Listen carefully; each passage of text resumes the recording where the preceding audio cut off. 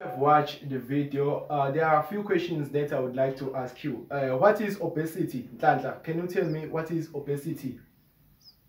Yes, obesity is a person who is overweighted. Uh, anyone else? Boniso, can you tell me? Yes, uh, is a fat person. Obesity is related to fat. But uh, I would like to give you a solid uh, definition. Obesity is a state of being overweighted and grossly fat. Is a state of being overweighted or grossly fat. Uh, I would like to ask you what are the causes of obesity? Can you tell me, Sandile? Yes, uh, uh, what causes obesity is eating too much. Is eating too much. Anyone else with the answer? Nobi, can you tell me?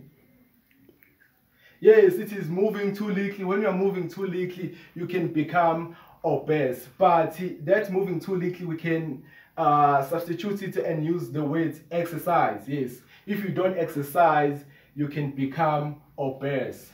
Uh, and I would like to ask you what exactly, to be specific, what is exactly that causes obesity?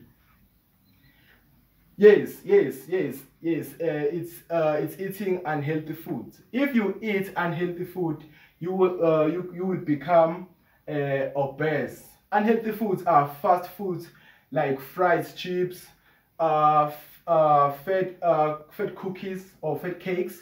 Everything that is fast that you you you buy at a fast food outlet is referred as fast food.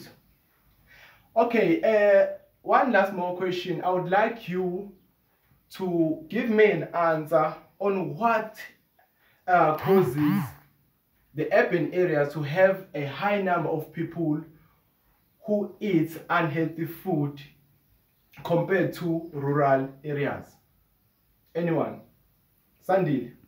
Yes, yes. Uh, what causes the, uh, the urban areas to have a high number of uh, people who, who eat unhealthy food is that there are more fast food outlets in urban areas.